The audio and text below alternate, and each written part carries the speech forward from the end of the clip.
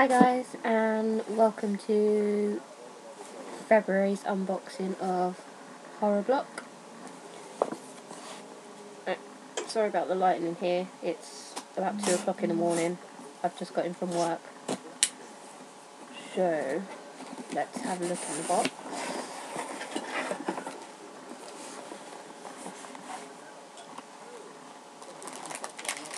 Right. Okay, we were told it's going to be zombie, vampires, and werewolf theme. Okay, so first we've got a watch. That looks like that's a horror block exclusive. It's got horror block on it.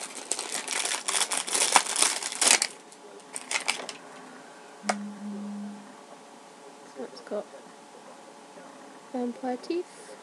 To use a light from my phone to make it a bit brighter. Can you see that?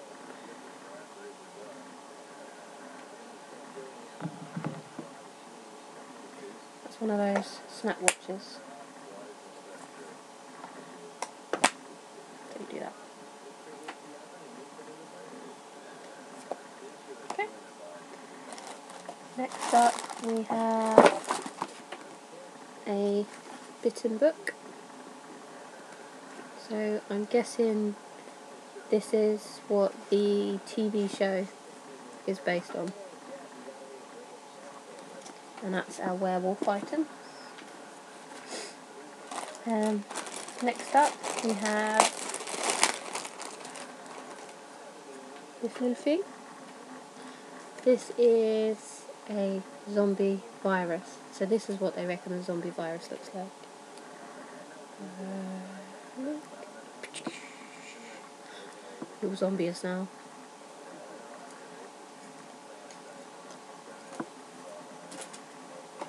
Okay. Then we've got some zombie containment unit. Mm-hmm. So this is probably going to be. It looks like it might glow in the dark as well.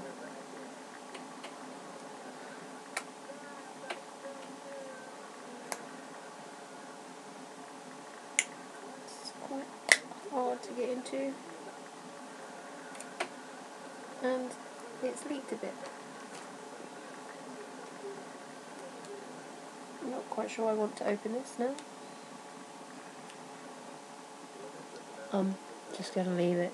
Seems a bit too awkward to open. But yeah, it's basically goo stuff and it's quite sort of a watery one.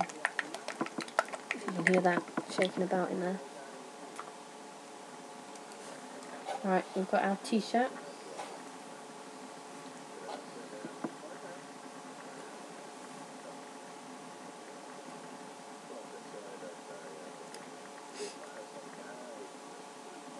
Together forever.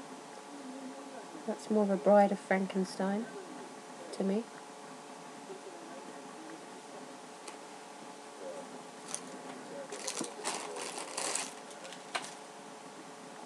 Uh, last but not least is the Rue magazine.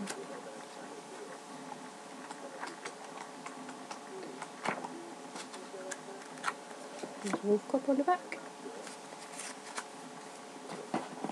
And then of course you got yeah, horror block card that tells you everything.